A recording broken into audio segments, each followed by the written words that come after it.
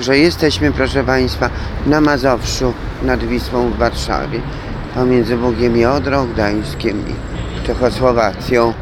Zobaczmy tutaj, co się dzieje, proszę Państwa, gdy nadaje nasze radio Koncita MP. Wcale nie największy, ale przejdźmy się tam. Też nie na podwale, nie na podwale.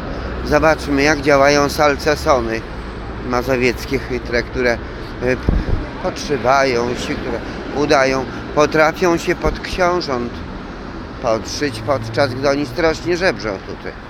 Bo tu myśleli, że zrobią bankowość taką jak w Londynie, a co jest niemożliwe.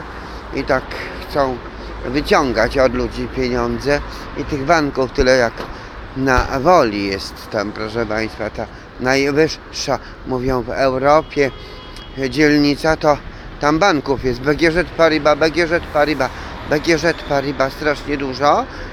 No i to też takie to mataczące jest strasznie, odwracające uwagę, że oni myślą, że zostaną książętami, a szepczą.